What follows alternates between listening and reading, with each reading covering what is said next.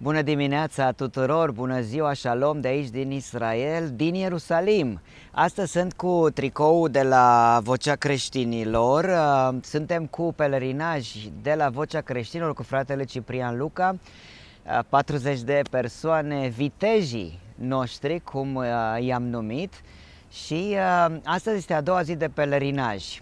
Vreau să vă invit într-o nouă incursiune a ceea ce vom face astăzi. Vizităm atât de multe locuri astăzi, Zidul Plângerii, Grădina Mormântului, Via Dolorosa, Poarta Oilor, Cartierul Evreiesc, Muntele Măslinilor, Grădina Ghețimani. Este o zi plină și pentru noi, dar și pentru dumneavoastră. O să vă prezentăm, de fapt, numai câteva lucruri astăzi, nu multe, pentru ca să vă facem să veniți data viitoare și vreau să vă reamintim că avem alte grupuri planificate în toamnă. Fiți binecuvântați!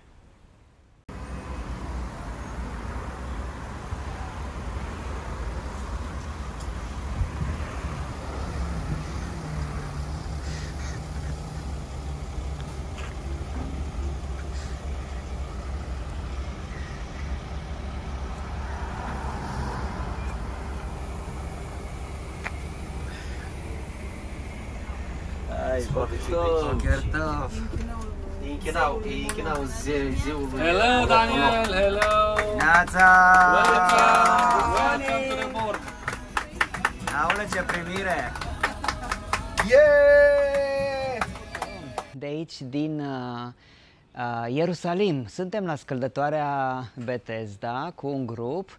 Aici este Biserica Sfânta Ana, care este construită în 1187 Haideți să mergem înăuntru să vedem cântă cineva, o să întorc imaginea.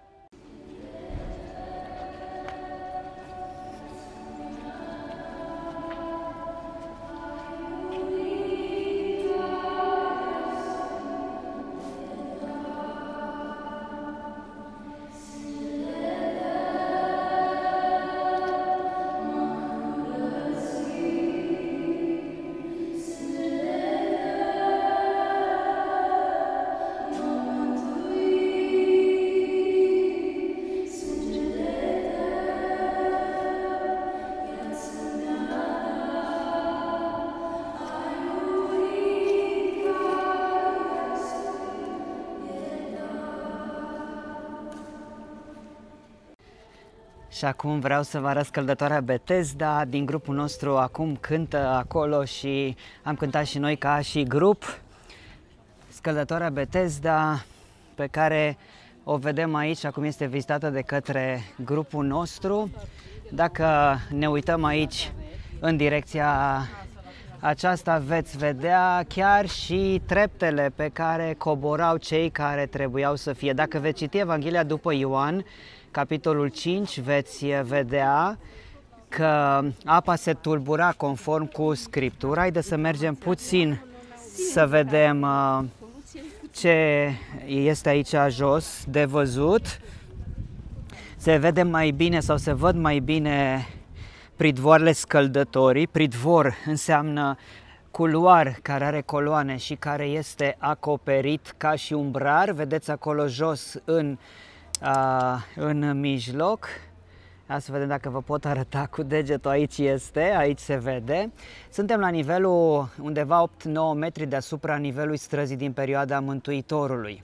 Apoi, bineînțeles că aici au fost construite multe, multe obiective și anume aici este templul lui Asclepios, poate sunteți familiar cu semnul șarpelui care a fost de fapt semnul zeului Asclepios, iar aici se pare că și în secolul II după Hristos când orașul Ierusalim a devenit Alia Capitolina, un oraș păgân, aici a fost construit un templu al lui Asclepios și aici se făceau vindecări conform tradiției chiar și în perioada respectivă.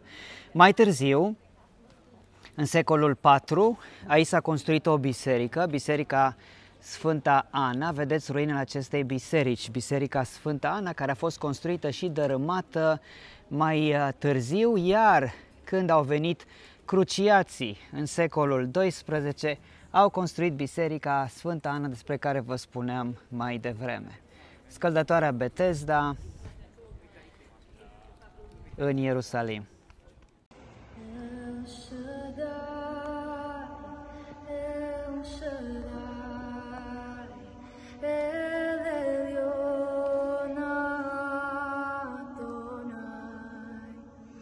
Age to